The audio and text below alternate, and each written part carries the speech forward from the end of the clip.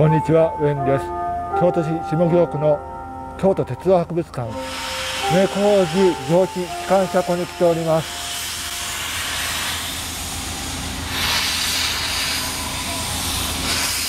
ちょっとこうカード見えませんかね。あの黒い機関車がいっぱい並んでいる中で1両だけ色が違う機関車がいるということで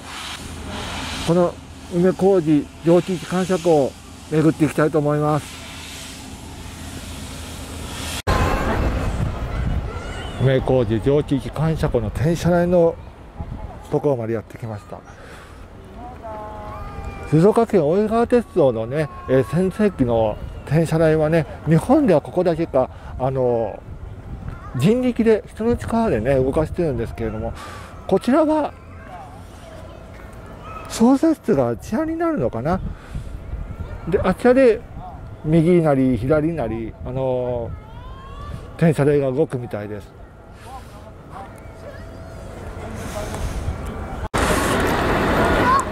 B20 型蒸気機関車の10号機ですか？B20 っていうのは初めて聞きますね。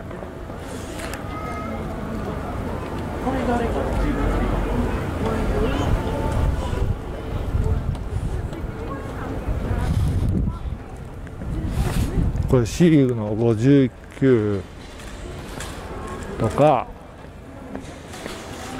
C の53 C の51 D の52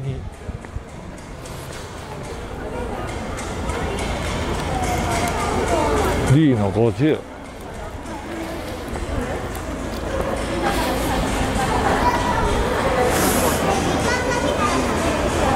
C の58ですね「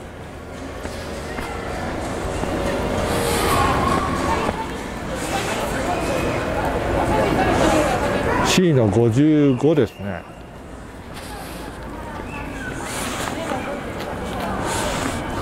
C の60にはね館内に別の機関車がいましたね。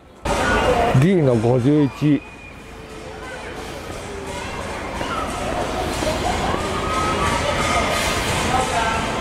9630型機関車ですか。えー、この形式も初めて見ます。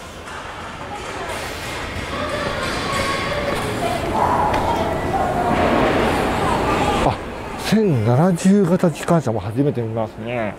C57 型っていうのはあ SL 北琵琶湖号で運行されていたのでしょうか。C56 のこちらの機関車はちょっと変わった格好をしておりますね。あ機関車の外で止まっているこの機関車は C61 なんですね。一両だけ色が違う機関車とはトーマスなんです。今ねあのお目目が動いているということで急遽撮影をしております。みんなるとお任せができる。うちのうちの人口全然。ああ、まだやっぱりまだみんなは僕のことを知っているかな？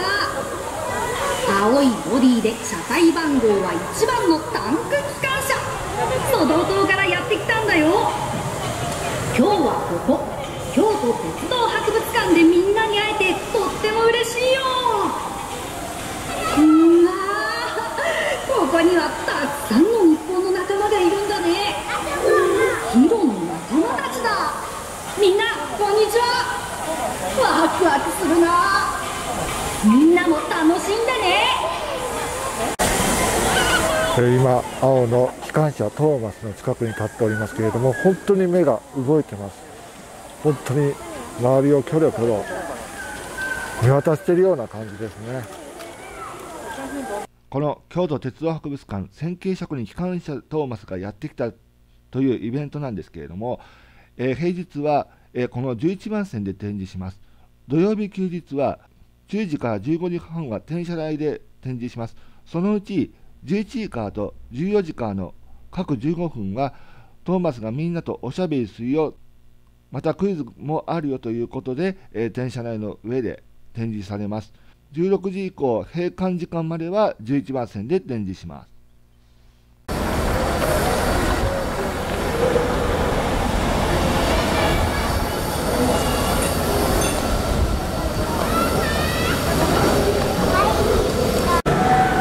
機関車トーマスはですね2020年静岡県の大井川鉄道でえ機関車トーマス号を見送った時に初めて見たんですけれども改めて見てみると、えー、動輪の部分にもね青の塗色がされているということがよく分かりました。ということでですね、えー、京都鉄道博物館ここではですね梅小路蒸気機関車庫に展示されているこちら、えー、機関車トーマスを見てきました。静岡県大江川鉄道でね走っているものと全く同じということが分かりました。この梅小路蒸気機関車庫にての展示は2022年1月10日月曜日祝日までということですので普段とは一味違った色の機関車もし気になる方がいらしたら訪れてみてはいかがでしょうか。以上京都鉄道博物館梅小路機関車庫に展示されている機関車等をまとめてきました。ご視聴ありがとうございました。